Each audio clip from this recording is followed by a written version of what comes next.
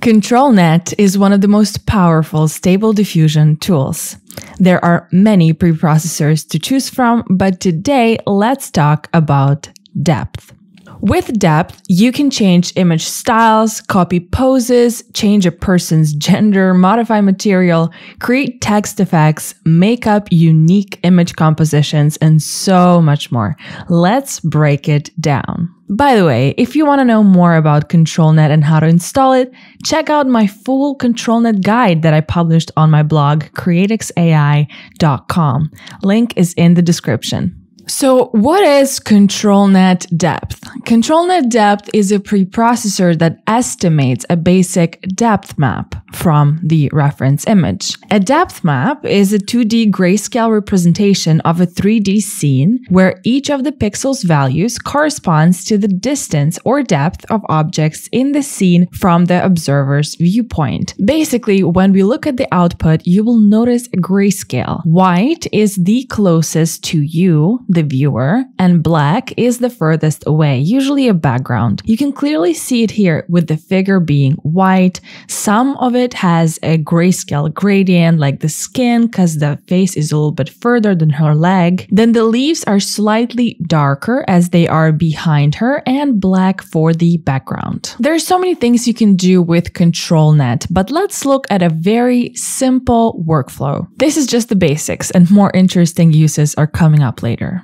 So pick your model. I used Rev Animated. Write a prompt, choose your settings, and now open up the ControlNet tab. Drop your reference image, select Enable, and choose Depth. If you want to see depth in action, checkmark Allow Preview and Run Preprocessor, the exploding icon. Leave the other settings as they are for now and run. Notice how similar the images are, especially when it comes to face and composition. If you've seen my previous ControlNet Canny video, you would have noticed that the results there were quite different in every image. That's not really the case here. This makes the depth preprocessor incredibly effective in retaining spatial information from the reference image while reimagining certain parts in this new AI generation. Now let's talk about preprocessors. There are four depth preprocessors available for you to choose from in the drop down menu. Depth Midas is the classic depth estimator that's used by default with a lower amount of detail. Depth Zoe is a preprocessor with a moderate level of detail. It's between Midas and Leres. Depth Leres has more details than the other two, and Depth Leres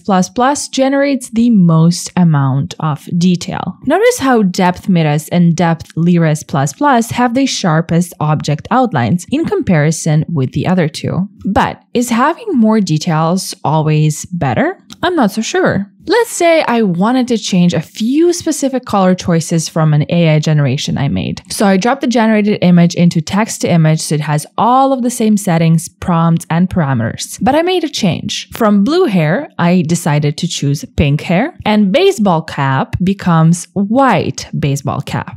The question is, which of these preprocessors can create the most close to the original generation with the changes I've made to the prompt? I'm using ControlNet Balanced in this case. And here are the results that showed up. Here's the depth map for Midas and the result. Zoe with the result, Leres with the result, and Leres plus plus with the result. You can see the gradual increase of details, with Midas being the lowest and Leres plus plus the most. Just look at the leaves in the background. As you can see, more detail is not better in this case, as the closest to the original with my changes included is probably Midas depth. All right, but what if I wanted to make a significant change, a huge change, you know, like say turn her into a boy? So let's test that. I changed the prompt from one girl to one boy and added a negative prompt girl, woman. Once again, here are the results. Midas, Zoe, Leres, and Leres++. Once again, we can see more detailed progression from left to right, but as to our goal of making a gender change, well, they all did pretty well. With my favorite being Midas and Zoe because Leres and Leres++ have a lot more detail in the clothing, in the background, something that I don't find that is needed in this image and just makes it look way more AI generated than the first two. So perhaps you should choose the depth preprocessor depending on how close to the original image you want the new one to be and on the intensity of details that you prefer. Now you might be wondering if you can use it with SDXL models and the answer to that is yes. You just need to download any depth XL model from Hugging Face, make sure to select it in the dropdown and run your generations. For my SDXL checkpoints, I currently use the Diffusers XL depth mid, but any from the link will do. Which link you might ask? Well, all the information in this video is also published as an article on my blog creatixai.com. This article is entirely dedicated to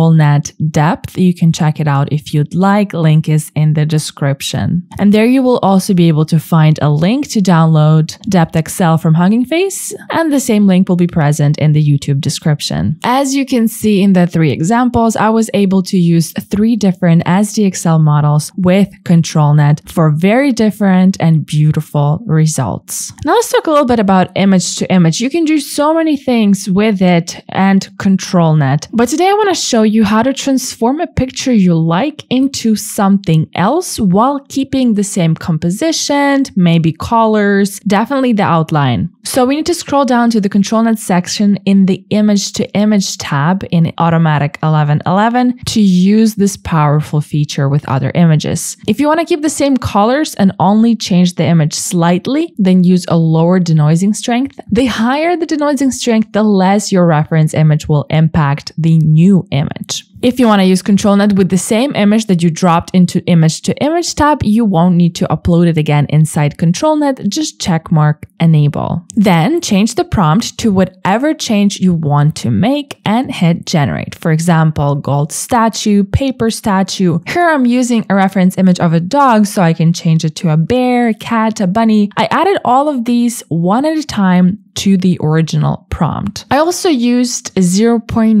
denoising strength and 0.8 control net depth weight for most of the images shown on screen now, though I had to lower the ControlNet depth weight to 0.4 for the cat and the wolf to get pointy ears instead of the droopy dog ones. So playing around with the weight will have a big impact on how believable it changes in some cases. How cool are these results of using image to image with ControlNet depth? I think these AI generations look absolutely stunning. Another powerful feature of using using ControlNet depth is to generate text. You can use it to create text based images that look like something other than the typed text or fit nicely with a specific background. Here are some examples on the screen. You would just need to prepare a text file with whatever text that you want. After you've prepared your text files, you can go to text to image and do the usual settings. You know, write a prompt, pick the size, do all that stuff, and then drop in the text image inside ControlNet and select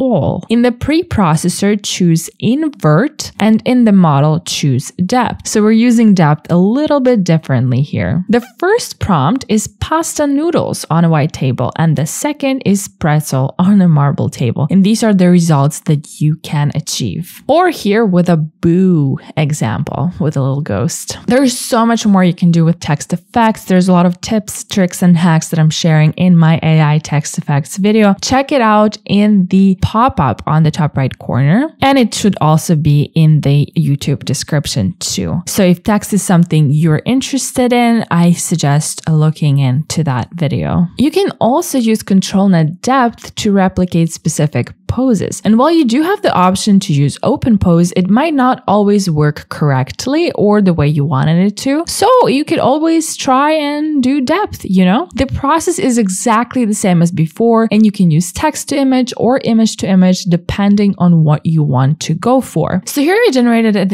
image of a girl, all right? And now I'm gonna drop in a different image to use as a reference for a pose. You can see what it looks like with the depth map. When we hit generate, we have a kind of a similar image to the one before with the pink background, white suit, everything, but the pose is now different. You can also use other tools like Magic Poser Web, for example, and pose a character however you want. Take a screenshot, drop it in, and use that as a reference. And that is a different option. Or you can use a photograph of somebody doing some action. You know, there's a website called Unsplash. It's one of the many with royalty free photos. So I grabbed a photo from there and used the depth map from it to generate an image. And it looks pretty good, but there's a lot of things we can still fix. So you can always drop it into InPaint. And then for the control net, drop the original image. So when you're inpainting something like hands or feet, the information is still taken from the depth map, from the original image, and it will just help you fix your AI generation that much better. And here is the final result. Another exciting thing you can use ControlNet Depth for is for some really unique compositions. So add some creativity to the mix and grab an image that you generated or a photo reference of something completely unrelated to what you want. You know, in this case, I found this building on Unsplash and I really love the composition in this photograph. I decided to use it as a starting point for a bunch of illustrations and let's see how it turned out. So I generated a bunch of like, you know, girls and gods and there's an eye and a broken mirror and a rocket ship. There's so many things that can be done with with it, but they all have this like similar composition to the photograph, something that ControlNet probably wouldn't have done without this input. I suggest you give it a shot because you never know how it's going to turn out. And sometimes it's really fun to play with. Like when I used this photo of buildings and said that they're supposed to be bread. the result is not some perfect masterpiece, but it was definitely fun to play with. If you use ControlNet depth in some other way that I haven't mentioned here, would love to hear from you. So let me know in the comments down below. By the way, I'm creating a whole playlist on ControlNet, even if it's going to take me a little bit of time. Please be patient with me. This is not my full-time job. I just really enjoy exploring AI worlds and learning together with you. Other than that, thank you so much for watching this video. And hey, if you're still here, check out this one next. By the way, to all of those who say that my voice sounds like AI, I don't know if I should take it as a compliment, but I can promise you that this is my voice. Though I suppose if I wrote it in an AI voice generator, AI could say the same thing. So it's up to you to decide. Till next time. Bye.